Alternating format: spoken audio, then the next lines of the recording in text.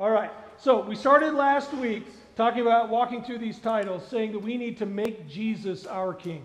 And I challenge you to make Jesus the king of your life by seeking his kingdom instead of our own, by following his commands, his rules, and, and ultimately by living as citizens of heaven. You know, in, in one of the songs we just, Christmas songs we just sang this morning, it talked about sing ye citizens of heaven above. Who is that? That's us. Right? I think we get this idea that he's talking about angels. No, we're the citizens of heaven when, we're, when Jesus is our king and we submit to his kingship and, and are part of his kingdom instead of ours. But like I said last week, this is a lot easier said than done. It's easy to teach it on Sunday. It's easy to hear it on Sunday. It's harder to live that out every single day. In fact, eh, you may have had a struggle with that this week. And I told you that the disciples, before Jesus entered Jerusalem, were wrestling with this very idea. They wanted to make Jesus king of their kingdom, the kingdom of Israel. And you would think after his death and resurrection, they would have had things straightened out in their mind, wouldn't you? They did not. Listen to how hard this is. Acts 1 6. So, this is after Jesus' resurrection. He spent quite a bit of time with the disciples. This is right before his ascension. And once, when he was eating with them, uh, I'm sorry, I got to back forward. So, when the apostles were with Jesus, they kept asking him, Here's the question Lord, has the time come for you to free Israel and restore our kingdom? What are they still asking Jesus? Is it time now? Now will you do what we want? And what's Jesus' answer? He actually doesn't say no. What he says is, look, only the Father has the authority. Only the Father knows when anything is going to happen. Here's what I want you to do and I'm paraphrasing a little bit. Stop worrying about the when and start doing the what. He says, I want you, you will be my witnesses, and you'll receive power from me when the Holy Spirit comes upon you. And you'll tell everyone about me in Jerusalem, throughout Judea, Samaria, and to the ends of the earth. See, when we're part of God's kingdom, we need to be about God's message, His kingdom message. Amen? Now, this is hard and, and I'd love to have good news for you and tell you that the message today is easier, but that would be a lie. And I try not to lie on Sunday. so I try. Sometimes I miss it, all right? Luke 2:11 is our key verse for this entire series. This is the angel the, she- the angels talking to the shepherds on the day, the night when Jesus was born. They said, "For unto you this day in the city of David a savior who is Christ the Lord. is born this day in the city of David, a Savior who is Christ the Lord. And, and we've talked about King, and now you get Savior and Christ and Lord. And we're going to dive into all of those titles, but we're going to take them in reverse order. Jake kind of gave you a little spoiler. What are we talking about? Jesus as Lord. Now, Christians have a complicated relationship with this word. Now, what I mean by that is, you hear all the time, if you ever watch a sporting event and there's a Christian in that sporting event, they talk about Jesus the Lord. Thank the Lord, right? Christians use that term all the time. We use that title for Jesus. He is our Lord. Amen? Amen. Anyone feel weird about thinking about Jesus as Lord? Yeah, no, it, it's kind of, con- in fact, it's almost cliche. We've kind of lost what does that really mean? It just becomes a name, and we don't think about what it means for us to call Jesus Lord. But the other problem is so we've got this on the one hand, we use it a lot, but on the other hand, we don't have a real cultural or collective context for having a Lord. In fact, if you take it out of the Christian circle, when you think of a Lord, what do you think of? What imagery comes to mind? Yeah, a king, maybe something like this, right?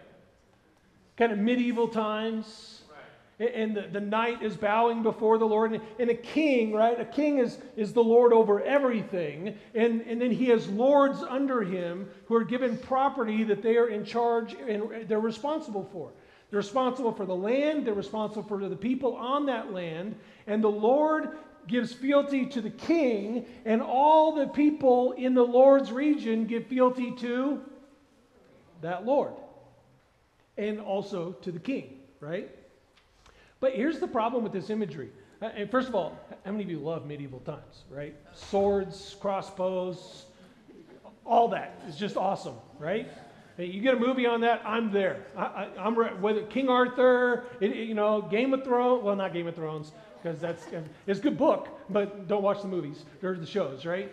All of this imagery, you get this fantasy uh, in, in, this time, and it's very, it, it, it, it, has this feel about it. There's something about it that just, and maybe it's just, maybe it's just us men because we're more visceral. I don't know.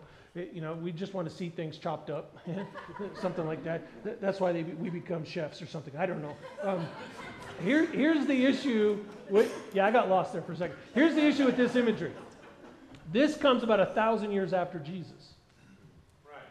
So, what the Bible times are talking about, when, when the Bible authors are talking about Jesus as Lord, they don't have this in their, in their image bank, right? This is far away. But the, on the other hand, it's not all that far off either. So let's, let's talk about Scripture and when it talks about this term Lord, what it means. The Greek word is kyrios. Say with me kyrios. Now, kyrios very simply means master, ruler, or Lord. But there's where we kind of get into trouble. Just like last week, right? We don't want a king. We don't want, if we don't want a king, then we certainly don't want a Lord. Right? We don't want someone telling us what, here's the more modern version, and you'll all get it just like this, right? The more modern version is boss. How many of you got work tomorrow? How many of you are looking forward to a conversation with your boss? How many of you dream of the day when you don't have a boss? Yeah, how many you wish you had a good boss? Don't raise your hand. It might be on video and we don't want your boss to see, okay? Yeah, right? I, I, I, wrestled with that in corporate world, especially. I wrestled with uh, going in every, and sometimes I had a good boss, and sometimes I had a bad boss. And when I had a good boss, life was good. And when I had a bad boss, life was miserable. Right? We don't want someone telling us what to do, looking over our shoulder, and we can do their job better than they can do it, right? You know who gets who gets promoted in corporate world is the people who can't really do the job. And they just keep going further and further up. I mean, the dumber you are, the higher you go up in the, in the right? Right? I'm, I'm getting trouble. Yeah, pre- previous boss of mine is going to come find me, right? Here's the, here's the bottom line. We just don't like having a boss. We don't like someone telling us what to do. In fact, our modern philosophy, if we're really honest, is echoed in a poem. Pastor, you're going to talk about a poem? Yes, I am by William Ernest Henley, and he wrote this in 1875. It's a poem called Invictus. And the last two lines of this poem you may recognize. He said, I am the master of my fate, I am the captain of my soul. And, I think this encapsulates what much of our culture thinks about having a boss. I don't have a boss, I'm the master of my fate. I'm the captain of my soul. Now, Nelson Mandela said this, he paraphrased this, and he said, I am the master of my destiny. Would you agree that that's kind of the thought process in our culture? Yeah. You ever go to a bookstore and look at the self help section? what does the self help section tell us? You can do it. You got it. You got this. If you'll just work harder, think better, be better, do you I, have heard i was watching television yesterday and i think i heard this phrase four times in four different shows. You do you. You do you man. You do you. You're the master of your fate. You are the captain of your soul. It's all up to you. Let me ask you a question. This is great in theory. How well is it working in practice in our culture there's where we get into trouble, right? If you put this into, in, uh, like the young people say, IRL. Was that woke? I said that just for my son. He hates it when I say the word woke. Apparently, I'm too old for that. All right, here's what I want to do I want to look at a couple of examples, specifically two men in our culture that really lived this out to the T. Okay? And the first, and we, I just want to talk about how did it work for them. They lived out this philosophy. And the first guy is a guy you might recognize. Anyone recognize this guy? Who is this? Anthony Bourdain. Now, Anthony Bourdain had the dream job. Anthony Bourdain traveled the world eating food. It can't get any better than that. People are paying you to travel around the world to eat food so you don't have to. Where do I sign up for that deal? This guy had everything. He had the dream job, he had the dream life, he had what many would consider the perfect life. He had the perfect job, he, he, he was a chef, a world renowned chef, he was an accomplished author and a TV personality. He had success and fame and financial security. Anthony Bourdain was in full control of his life. He was the master of his fate and the captain of his own soul. Until in 2018, while on vacation in France, he hung himself.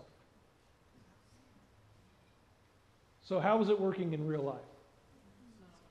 It wasn't. All right, let me give you another guy many of you will recognize.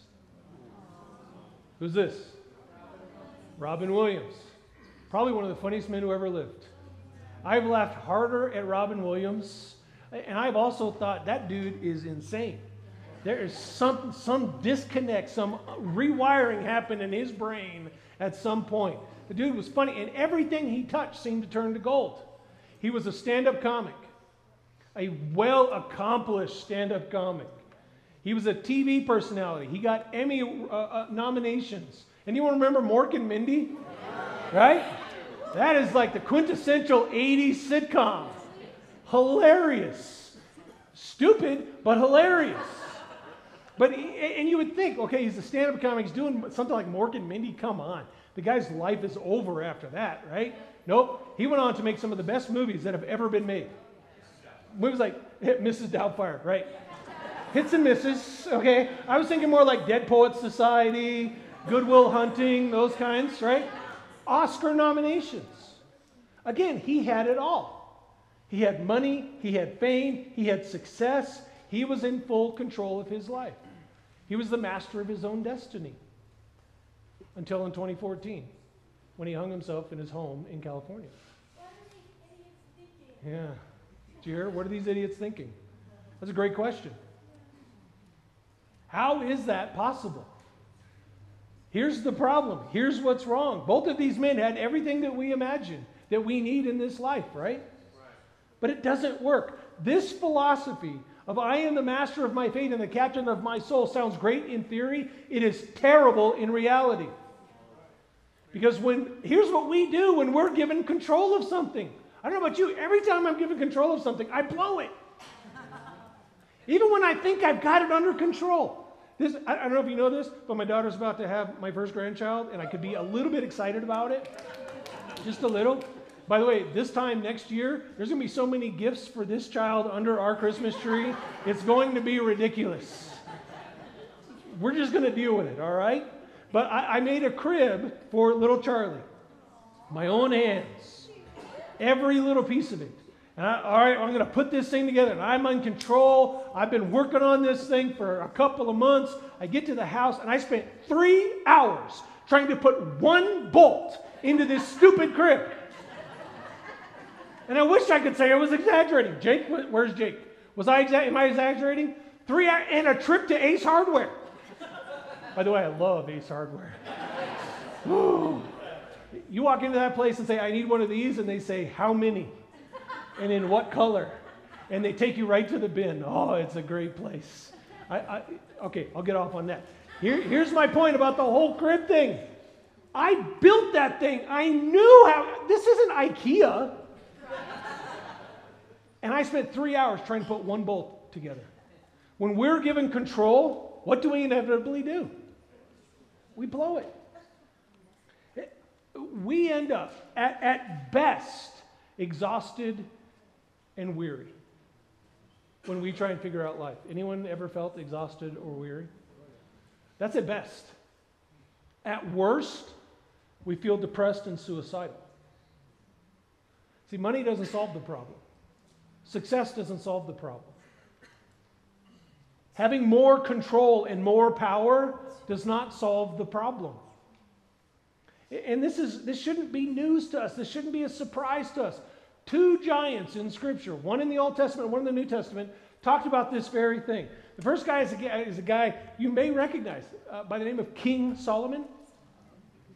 What did King Solomon have? Literally everything. Right? He asked God, he, he has this, this great epiphany moment. God asks, He said, You're about to be king. Ask me for anything, and I will give it to you. And Solomon doesn't even hesitate. He says, I want wisdom to rule your people well. And God says, Man, that's a good answer. I'm going to give you wisdom and money and fame and power. I'm giving it all to you because you asked for wisdom. And Solomon lived his life with everything he could ever hope for. And listen to what he says in Ecclesiastes I devoted myself to search for understanding and to explore by wisdom everything done under heaven. I soon discovered that God has dealt a tragic existence to the human race. I observed everything going on under the sun, and really, it is all meaningless. In fact, that's how he starts out the whole book. Meaningless. Everything is meaningless. And this from the guy who had everything. He had money that you couldn't even begin to imagine. He makes Jeff Bezos look like a pauper.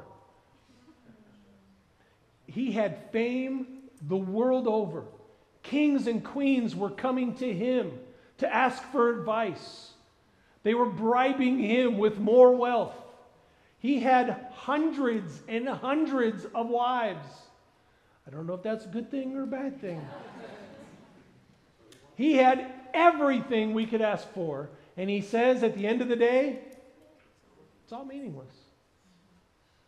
So we go to the New Testament. I'm sure the news gets better there, right? Well, here's what Paul had to say in Romans chapter 7. He says, I've discovered this principle in my life that when I want to do what is right, I inevitably do what is wrong. I love God's law with all my heart, but there is another power within me that is at war with my mind. We just spent a month talking about that. This power makes me a slave to the sin that is still within me. Oh, what a miserable person I am. Anyone ever felt that? That's exactly what Anthony and Robin felt at, at, at a point in their, many points in their lives. What a miserable person I am. Who will free me from this life that is dominated by sin and death? Who's going to free me? Now, sometimes when we think we're in control, and we are the masters of our own fate, and we are the captains of our own soul, and life just continues to fall apart, it really leaves us at the end of the day with one choice end it all. If I'm in control and I keep blowing it, there's not much else I have control over, is there? I'm going to tell you, there is a different way. That is never the solution. It's never the right answer. Ever. And by the way, if you ever get to that spot, pick up a phone and call me. I don't care what I'm doing. I don't care what I'm doing. If you get to that spot of desperation, pick up a phone and call me. Come on. Okay? Right. But can I answer this question? Paul answers it. Who will free me from this life that is dominated by sin and death? He says, Thank God the answer is Jesus Christ our Lord. Amen. Amen? I'm glad you applauded because I'm going to make it harder. You see, we look at this and we say, yeah, Jesus is the answer, right? Jesus is always the answer. Any trivia game I get in, I don't know the answer, I just say Jesus. He's always the answer. I dare you to tell me I'm wrong. But he doesn't say just Jesus. He says Jesus Christ, our Lord. Is that just a cliche that he's sticking on the end there? Is that just something that Christians say? We're just supposed to call him Lord, so I'll tag it on to the end? Does it have some meaning? This word Lord means a lot. It is used over 700 times in the New Testament. 400 of those specifically in reference to Jesus as Lord. So I want to give you, I gave you the bad examples, right? Anthony and Robin, people in charge of their own destiny. Can I give you the flip side? Two examples of people who, who didn't live by that philosophy. They lived by a totally different philosophy. They lived by a lordship philosophy. And they happen to come right out of the Christmas story. Grab your Bibles. We're going to turn to Luke chapter 1.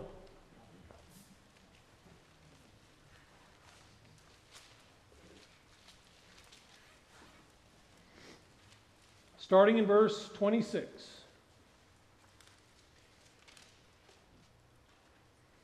In the sixth month of Elizabeth's pregnancy, God sent the angel Gabriel to Nazareth, a village in Galilee, to a virgin named Mary.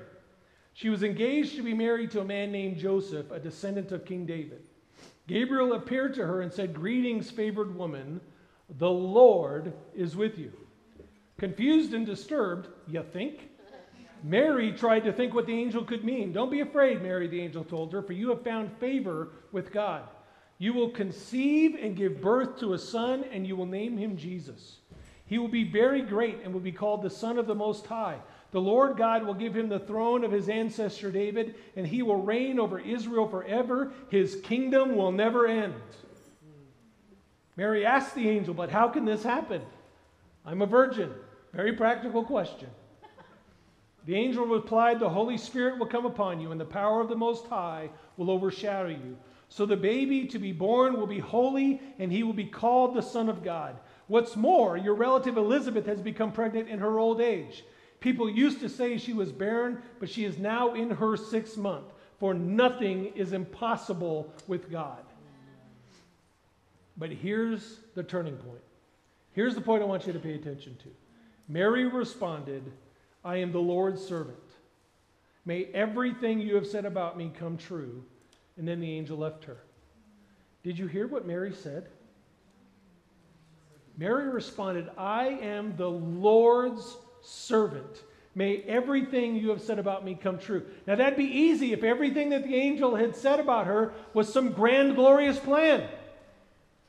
Mary, you're going to have fame and fortune, and people are going to follow you on Instagram. You'll have 2 million Insta followers and your life is going to, you'll have no troubles whatsoever. But is that what the angel had told her? No, the angel told her, You're going to be a single mom who has a baby out of wedlock. At least that's what everyone's going to think. And oh, by the way, you're just going to give birth to the Savior of the world. No pressure. Was this anywhere in Mary's plan? Those of you who are were at one point in your life were ever planning to get married, how would you have felt with this kind of disruption? Right? You had a plan. You knew how your life was going. And God comes along and says, I'd like to throw a small little wrench into it. I'm going to turn your world upside down. Mary could have said, This is, this is not my plan. But what does Mary say instead? Not what I want, what you want. She says, I am the Lord's servant. Whatever you say, I'll do. Man, that's a mature attitude. And it didn't stop with her. Turn to Matthew chapter 1. Because, you know, she had to go tell her soon to be husband this whole news. Talk about a change of plans. This is how Jesus the Messiah was born, Matthew says. His mother Mary was engaged to be married to Joseph, but before the marriage took place, while she was still a virgin, she became pregnant through the power of the Holy Spirit. Joseph, her fiance, was a good man and did not want to disgrace her publicly, so he decided to break the engagement quietly. And as he considered this, an angel of the Lord appeared to him in a dream. Joseph, son of David, the angel said, Do not be afraid to take Mary as your wife, for the child within her was conceived by the Holy Spirit and she will have a son, and you are to name him Jesus, for he will save the people from their sins. All of this occurred to fulfill the Lord's message through his prophet. Look, the virgin will conceive a child, she'll give birth to a son, and they will call him Emmanuel, which means God with us. And when Joseph woke up, he did as the angel of the Lord commanded and took Mary as his wife. Did you, re- did you hear that? He did, when he woke up, he did what the Lord, uh, the angel of the Lord commanded, and he took Mary as his wife. He broke all the rules. Why did he break all the rules? Because he did what God wanted him to do. See, Mary and Joseph are in this difficult position. They're in an impossible situation.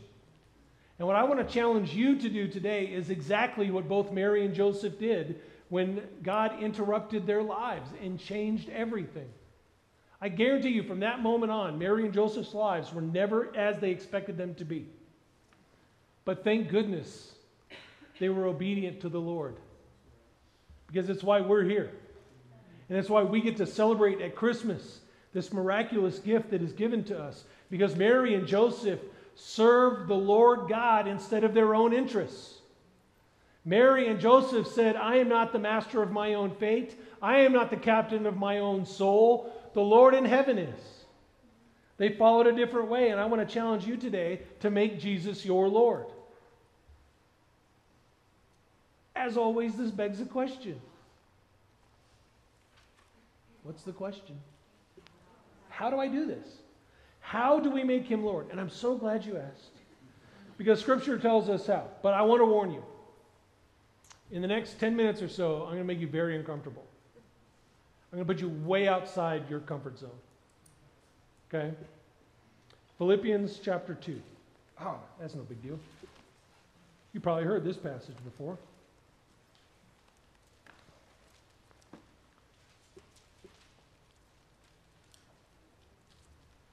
Philippians chapter 2, starting in verse 5.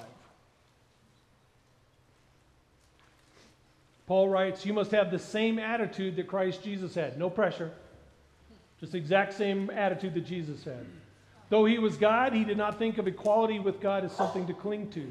Instead, bless you, he gave up his divine privileges. He took the humble position of a slave. He was born as a human being. And when he appeared in human form, he humbled himself in obedience to God and died a criminal's death on the cross. Therefore, God elevated him to the place of highest honor and gave him the name above all other names. You read through this list of what Jesus did. And, I think we read this and we miss how big it is. Jesus gave up. He did not think equality with God was something to grasp, even though he was God. He, gave up his divine privileges, and those were big privileges, like eternal life, like never having to die, like never having to suffer, like never having to smell, all of that. He gave it all up. He took the humble position of a slave and was born as a human being. And we think, big deal, me too. Except he was God. The God of the universe who created it all came on Christmas as a human being. Not just any human being, a baby in a borrowed manger in the middle of nowhere. No fanfare. And he did it on purpose for you and for me, and he wants us to have that same kind of humility. And then he dies a criminal's death on a cross for you and for me. He says, but God elevated him. But listen to what happens next. Are you ready? That at the name of Jesus, every knee should bow in heaven and on earth and under the earth, and every tongue confess that Jesus is Lord to the glory of God the Father. I want to read that again. That at the name of Jesus, every knee should bow in heaven and on earth and under the earth, and every tongue confess that Jesus Christ is Lord. Two steps we're to make here. The first is every knee should bow. Now, I think we're, and by the way, this is where you're going to get uncomfortable. Because when he says this, I think we have, we, we have one of two thoughts. One is, yeah, someday, someday every knee will bow. Someday Jesus will make every one of us bow our knee to him. Or the other thought is, well, he's just, this is, just think about it. This is theory. This is not real, right? Hang on. The second thing he says is every tongue declare that Jesus is Lord. Bow the knee, declare that he is Lord. Let's look at those in a little more detail in reverse order. Declare Jesus is Lord of your life. Have you made this declaration? Yes. Now, this word declare, by the way, is a verbal thing. And it's backed up in Romans 10:9. Romans 10:9 says if you openly declare that Jesus is Lord and believe in your heart that God raised him from the dead, you will be saved. Amen. But it is an open public declaration of your faith that Jesus is Lord. That's why when we do baptisms, I do a baptism class all every time I do it. Do I have to say something? The answer is yes. You have to verbally declare that Jesus Christ is Lord. But the good news is, if you do that, if you believe in your heart and you openly declare, you are saved. And that doesn't get you excited. Nothing I'm going to say after this. This is as good as it gets. You just say Jesus is Lord and you believe it in your heart, you are saved. That's fantastic news. But the second thing is, is you bend your knee to Jesus as Lord. I, mm, I don't know. See, again, the results here are very powerful. And this is literal, this is not metaphorical. This is a literal bending of your knee to Jesus as Lord. And the results are powerful. Listen to this if you bend your knee, you're free. And I didn't say that. Paul did, or the Psalm says it. We do this together. Paul said it in Romans 7. How do I, how do I get free from this life of sin and death? Through Jesus Christ, my Lord. And this is something we're supposed to do together. Psalm 95 says, Come, let us worship and bow down. Let us kneel before the Lord our Maker, for he is our God. And there are times I think we see that. We, we sang a song this morning that talked about bowing before our Lord, kneeling before him. You know what did not happen in this room? We didn't do it. We sing it, but we didn't do it. But we're going to fix that. So you all notice the worship team moving around. I've asked them to come up. And this is where it's going to get uncomfortable. Because guess what we're going to do? We're going to together declare that Jesus is Lord. In fact, let's do a little practice. Say it with me Jesus is Lord. Let's make it even more personal. Jesus is my Lord. Jesus is my Lord. That's the easy part. I want you all to stand with me this morning. And I'm going to give two separate invitations this morning. Number one, if you have never declared Jesus as Lord of your life, if you've always thought you were the one in control and that that was the way to go, I want to invite you to come forward this morning. Step out from where you are. Excuse me. Come before us this morning. Come before God this morning. Kneel before Him and declare that He is the Lord of your life. Give that control, surrender that control to Him. For everyone else in the room, while we're singing, I'm going to ask you to kneel before God. Now, if you physically can't do that, then sit before Him. Okay, I, I get sometimes you can't. You, if I do it, I won't get back up. Okay, I don't want to be calling the medics later. Okay, but if you can do that, if you can't, just sit where you are. If you can, I want you to kneel before God while we're singing. And I want you just to declare him as Lord this morning. He said, Pastor, that's, that's uncomfortable. I know. Surrender is not easy. Surrender is not about making us comfortable. Surrender is hard. Surrender is saying, and maybe there's a part of your life. I've done this before. I do this all the time. God, you can have everything but this place. That's not how it works. He wants it all. Jesus wants all of it. So just bow before him, kneel before him.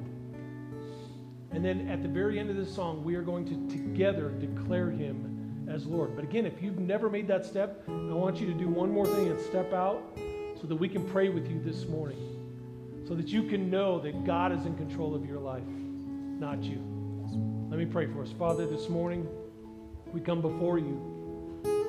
We right now enter into the throne room of heaven to submit to you, to kneel before the Lord our God, to declare that you are my Lord. And Father, I declare to you this morning, you're my Lord. I give you everything. I give you my family.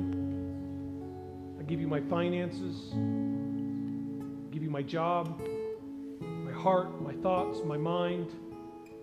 I submit it all to you this morning. Father, we surrender everything to you. If there's anyone in this room, Father, this morning who's never made that public declaration, who's never taken that step and knelt before you and declared that you are Lord of their life and received and believed, I pray that you'll give them courage to do that this morning as we sing. May we all bow before you and surrender our hearts and our lives to you. And all God's people said, Amen. Let's sing and bow before him this morning.